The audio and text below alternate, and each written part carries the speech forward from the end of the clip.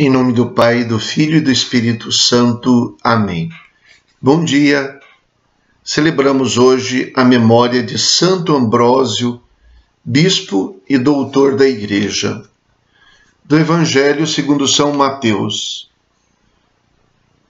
Naquele tempo, disse Jesus aos seus discípulos: Que vos parece? Se um homem tem cem ovelhas e uma delas se perde, não deixa ele as noventa e nove nas montanhas para procurar aquela que se perdeu? Em verdade vos digo, se ele a encontrar, ficará mais feliz com ela do que com as noventa e nove que não se perderam. Do mesmo modo, o Pai que está nos céus não deseja que se perca nenhum desses pequeninos. Palavra da salvação. Glória a vós, Senhor. Há um raciocínio por trás deste evangelho que pode parecer difícil, talvez até contraditório. Mas se a gente assimila a mensagem do evangelho como Jesus a propõe, nós seríamos capazes de compreender qual é a posição de Deus diante do ser humano e diante do pecado do ser humano.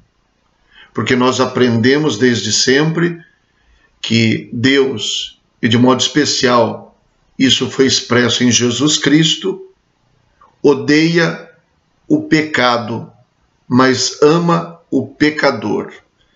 Então a história que Jesus conta faz parecer que uma ovelha perdida pode ser motivo de felicidade, de alegria.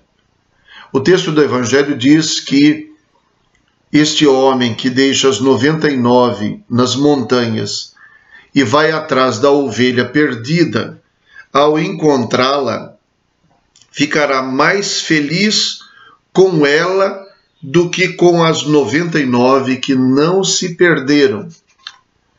Então isso faz parecer que a perda da ovelha é motivo de alegria para o pastor.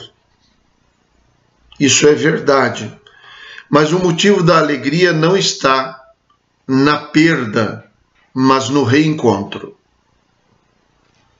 Neste sentido, a expressão do amor de Deus pode ser conhecida pelo ser humano de vários modos. O ser humano pode perceber o amor de Deus, pode acolhê-lo, pode encontrá-lo. Neste caso, o ser humano expressará a sua resposta de amor a Deus pela gratidão que sente pelos benefícios pela sua vida, pela amizade com Deus.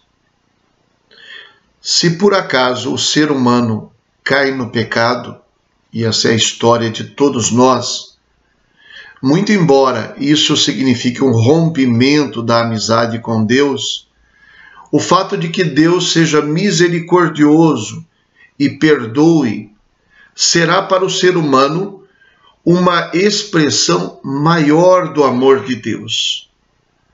Porque na amizade e na vida reta, talvez possa parecer que existe uma parceria. Pode parecer que exista uma, uma amizade que é recíproca, na qual o ser humano recebe alguma coisa de Deus, mas na qual ele pensa que oferece alguma coisa a Deus também e ele não percebe que, na verdade, ele não tem nada a oferecer a Deus. Aquilo que ele oferece a Deus é a graça que Deus lhe concedeu de não se afastar dele. O nosso amor para Deus, como resposta, também é graça de Deus. Porém, quando a gente peca, a gente toma toda a consciência do mundo de que a gente não merece o perdão e o amor de Deus.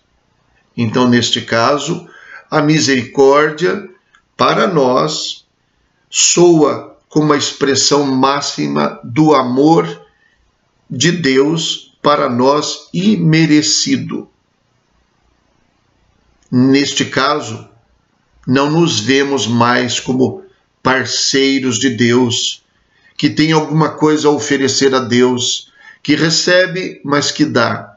Nos vemos como aqueles que nada têm a oferecer a Deus, mas que porque Deus é amor, o seu amor se sobrepõe às nossas infidelidades.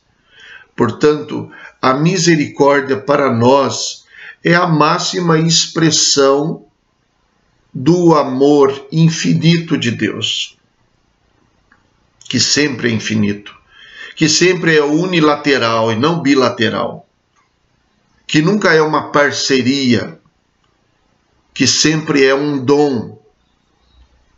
Então, através da misericórdia, parece que a gente acorda para a vida e percebe isso.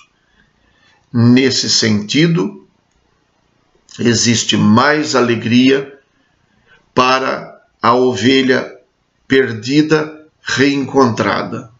E também para Deus, porque neste sentido haverá para Deus aquilo que ele mais deseja, que a ovelha perdida não se perca, que a ovelha perdida seja reencontrada. Mas a gente não pode se enganar e pensar que Deus, então, ao se alegrar com a ovelha reencontrada e perdida, deseje que as ovelhas então se percam para poder amá-las. O final do Evangelho diz assim: Em verdade vos digo, se ele encontrar, ficará mais feliz com ela do que com as noventa e nove que não se perderam. Do mesmo modo, o Pai que está nos céus não deseja que se perca nenhum desses pequeninos. A alegria não está na perda, mas no reencontro, porque o reencontro equivale a não perder. Ele está feliz porque não perdeu 99. E está feliz porque não perdeu uma. O que Jesus quer mostrar é quanto Deus se importa com cada uma das suas ovelhas. O que ele fez por uma, fará por todas e por cada uma delas. Então, este aparente paradoxo da ovelha perdida que causa mais alegria não é porque Deus queira perder as ovelhas para depois reencontrá-las, mas é porque a ovelha perdida deixou de ser perdida, porque ele não quer nenhuma perdida. Para nós, porém, a alegria de descobrir o amor imerecido de Deus para nós nos faz olhar para Deus na sua gratuidade, coisa que às vezes a gente não percebe quando a gente pensa que a gente não se perdeu e que talvez até a gente nem precise tanto dele. Rezemos. Ó Deus, que fizestes o bispo Santo Ambrósio, doutor da fé católica e exemplo de intrépido pastor, despertai na vossa igreja homens segundo o vosso coração, que a governem com força e sabedoria por nosso Senhor Jesus Cristo, vosso Filho, na unidade do Espírito Santo. Amém. O Senhor esteja convosco. Ele está no meio de nós. Abençoe-vos, Deus Todo-Poderoso, Pai, Filho e Espírito Santo. Amém. Bom dia. Fiquem com Deus.